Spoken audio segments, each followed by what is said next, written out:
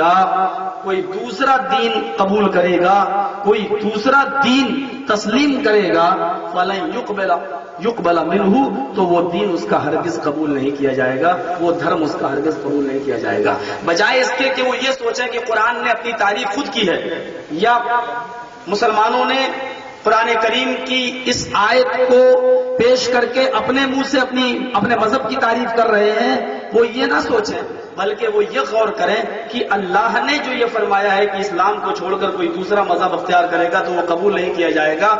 आखिर क्यों? इस्लाम के अंदर वो कौन सी खसूसियात हैं, जिसकी वजह से, वो कौन सी विशेषताएँ हैं, जिनकी वजह से अल्लाह रब्बुल आलमीन ने इस्लाम को सबसे अच्छा मज़हब कहा है। इन दीना इन इस्लाम। अल्लाह की नज़र में, अल्लाह के नज़दीक सबसे पसंदीदा मज़हब जो है, सबसे पसंदीदा दीन जो है वो इस्लाम है। अब मसला ये पैदा होता है कौन सा इस्लाम? ये हमारे गैर मुस्लिम भाई भी सवाल कर सकते हैं। इस्लाम में भी तो बहुत से गिरोह बंदी है। कौन सा इस्लाम? आज हमें इस्लाम को भी समझाने के लिए बड़ी दिक्कतें सामने आती हैं कि हम कौन सा इस्लाम इनको बताएँ कि कौन सा इस्लाम?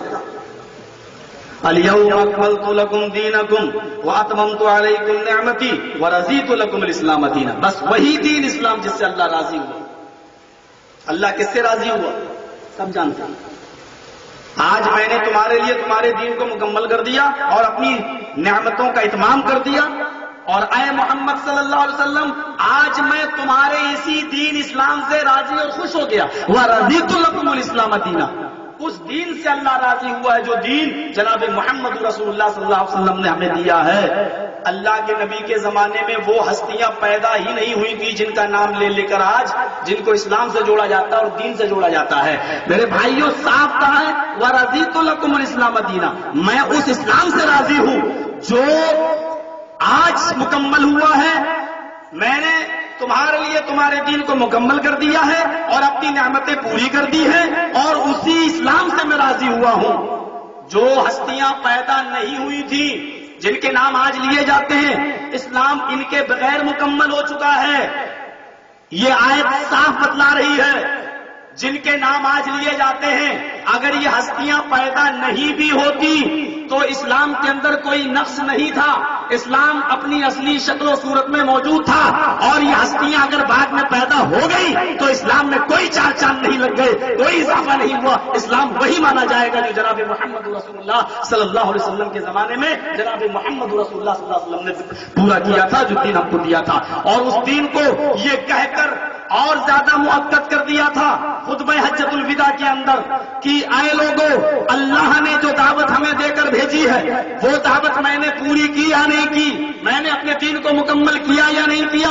मैंने उस हक से सुखदोष हुआ हूँ या नहीं? अल्लाह रब्बुल आलमीन ने जो दावत मुझे देकर भेजा था, वो दावत को मैंने पूरा किया या नहीं किया? सारे हाजरीन ने, सारे मजमे ने, सारी इज्तिमाइत ने एक जबान ये कहा था, कदर दैता आए मोहम्मद सल्लल्लाहु अलैहि वसल्लम, आपने उस हक को अदा कर दिया। आपको अल्लाह ने जो दावत देकर भेजा था, आपने उस दावत को मुकम्मल कर दिया।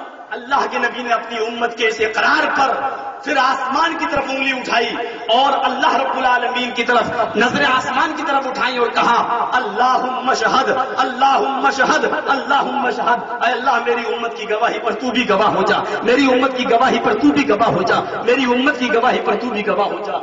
ये वो इस्लाम है जो असली शक्ल में जो मौजूद है, वो सिर्फ़ कुरान के अंदर, वो सिर्फ़ जनाब मोहम्मद रसूलुल्लाह सल्लल्लाहु अलैहि वसल्लम की हदीस के अंदर मौजूद है अल्लाह उस इस्लाम से राज़ी और खुश हो गया। अब इस्लाम के अंदर खसूसियात क्या है? मैं आपको बताऊँ, पहले तो एक इशारा कर दूँ कि इस्लाम को अल्लाह ने जिन खसूसियात से नवाजा, उनमें मशहूर खसूसियात ये हैं कि इस्लाम दीन तोहीद है। इस्लाम दीन रिसालत भी है। इस्लाम दीन मसावत भी है। इस्लाम दीन अदल भी है। इस्लाम दीन तकवा भी है। इस्लाम दीन रूहानियत भी है, इस्लाम दीन सहल भी है, इस्लाम दीन रहमत भी है। एक एक मिसालें मैं सबकी दूँगा और फिर मैं कंपेरिजन करूँगा। मैं दूसरे मजहबी किताबों को सामने रखकर ये बताने की कोशिश करूँगा कि वो अपनी किताबों में देखें और फिर कुरान की स्टडी करें और कुरान का मुताला करें और फिर अंदाज़ा लगाएँ कि इस्लाम को अल्लाह ने जो कहा है कि ये इसके अलावा कोई दूसरा दीन, कोई दूसरा धर्म अख्तियार करेगा, वो कबूल नहीं किया जाएगा। कुरान अपने इस दावे में किस हद तक सही है? इस्लाम दीन तोहहीद तोहीद। का सबूत दुनिया में जितने भी मज़हब सब में मिलता है। लेकिन मैंने इस्लाम ही को दीन तोहहीद क्यों कहा है? दीन तोहहीद तोहीद। का को मैं संस्कृत जबान में कह सकता हूँ, तोहीद का तर्जमा मैं कर सकता हूँ, एकेश्वरवाद और तोहीद की जो जिद है शिरक, इसको मैं वेदांत के रूप से कह सकता हूँ। इसका तर्जमा, इसको हिंदू धर्म की किताबों से बहु ईश पूजा या बहुदेववादी बहुत सी देवी देवताओं की पूजा करना या बहुत से माबूद बना लेना। तोहीद दीन तोहीद सिर्फ़ इस्लाम है ये मैंने इसलिए कहा है, क्योंकि दुनिया में जितनी भी किताबें हैं, मजहबी, धार्मिक पुस्तक, उसमें तोहहीद तो है, लेकिन तोहहीद के साथ साथ शिरक भी है। और कुरान एक ऐसी वाहिद किताब है कि जिसके अंदर सिर्फ़ तोहहीद है, शिरक नहीं। मैं बाइबल की एक इबारत पढ़ता हूँ, जरा गौर कीजिए। There is no God, but God is only one without second. Bible ओल नंबर फाइव तोहीद देख रहे हैं? ज़बरदस्त तोहीद है। दियर इज़ नो गॉड कोई अल्लाह नहीं है। दियर इज़ नो गॉड कोई खुदा नहीं है। But God is only one सिर्फ़ एक है। पहले मना किया गया। कोई नहीं है। यार इज़ गॉड कोई नहीं। है और बाद में क्या कहा जा रहा but God is only one सिर्फ़ एक है विदाउट सेकेंड दूसरे को शरीक नहीं किया जा सकता है दूसरा नहीं, दूसरे के बगैर। दूसरे को शरीक नहीं किया जा सकता। एक है, दूसरे को शरीक नहीं किया जा सकता। इस इबारत को पढ़ो तो बिल्कुल वही लगता है। ला इलाहा इल्लल्लाह, अल्लाह के अलावा कोई मबूद नहीं। कोई है ही नहीं सिवाय अल्लाह के। लगता दीन तोहीद है। लेकिन बाइबल वो नंबर फाइव की दूसरी बार पढ़िए जो इसी के आगे लिखी हुई है। ईसा सलाम जीसस अपने रब से कह रहे हैं, अपने अल्लाह से को बाप बना रहे हैं। जीसस ने बाप बनाया और क्या कहा? अपने रब से I will pray the father he shall give the another comforter मैं अपने बाप से ये प्रार्थना करूँगा। मैं अपने बाप से ये दुआ करूँगा कि वो तुम्हें एक दूसरा रसूल दे, एक दूसरा प्रोटेस्टेंट दे, एक दूसरा प्रॉफिट दे। ईसा ने, जीसस ने बाप बाइबल के आधार पर जो मौजूदा बाइबल है, वरना ईसा सलाम की दावत नहीं है। माफ़ करना, ईसा सलाम की दावत नहीं है। लेकिन बाइबल में जो लिखा हुआ है, इसलिए ईसाइयत दीन तोहीद नहीं हो सकती है, क्योंकि इसके अंदर तोहीद के साथ साथ शिरक की भी आमेजिश है। जरा हिंदू धर्म को देखिए। मैं मंत्र पढ़ता हूँ यजुर्वेद अध्याय नंबर दो और उसका मंत्र नंबर तेईस। यजुर्वेद अध्याय दो और मंत्र नंबर तेईस। गौर से देखना, कितनी ज़बरदस्त तोहीद है। यचित्तियो यो बिम्बिम्ब नस्तस्मा देवी शोरी शाह नए राय आसमान यजुर्वेद, अध्याय दो, मंत्र नंबर तेईस।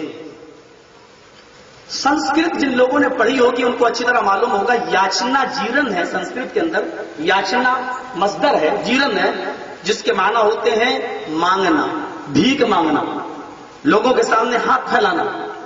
और उसी से यचित की इम्परेटिव सेंटेंस आता है फेले अम्र। और यो इसमें इशारा वईद के लिए आता है। जैसे अरबी जबान में हुआ या जालिका वईद दूर के लिए आता है, ऐसे यो दूर के लिए आता है। इसमें इशारा है, दूर के लिए आता है। अब तर्जमा यह है यचित्ती इंपरेटिव सेंटेंस है फेले अम्र है, मांगो यो उससे। यो इसमें इशारा वईद के लिए। तर्जमा देखिए क्या? यचित्ती मांगो यो उससे। दूसरी बार की यो आ रहा है। यचित्ती यो मांगो उससे, यो वही है। बिम्बिम्मा जो तुम्हारी झोली भरता है, वही है जो तुम्हें सब कुछ देता है। वही है जो तुम्हारे दामनों को भरता है, वही है जो तुम्हें गैब से देता है। पिम्मिम्मा वही है जो तुम्हें समेट कर तुम्हारी झोलियों में डालता है। आगे का मंत्र देखिए। न तस्मा देवी शोरी न तस्मा